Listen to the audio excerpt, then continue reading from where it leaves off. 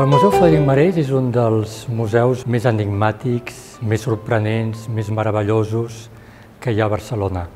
És un museu que, que porta el nom del, de l'escultor Frederic Marès.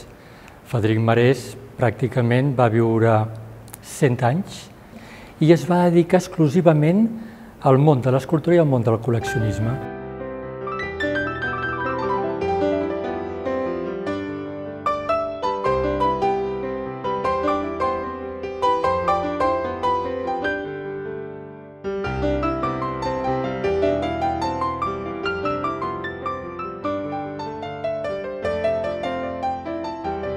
Què hi ha?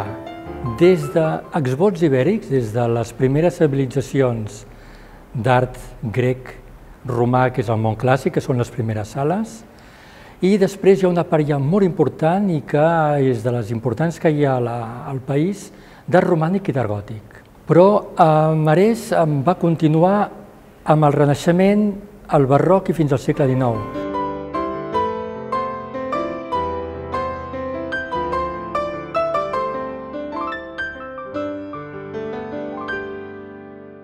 Fas un viatge a, a la Barcelona de a finals del segle XIX.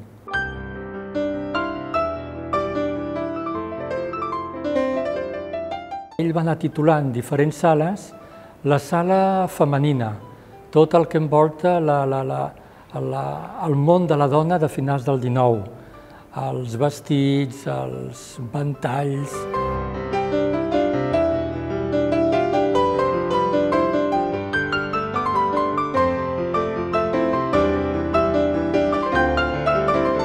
L'objecte més curiós del museu és el que ho explica tot, que era la maleta de viatge del senyor Marès.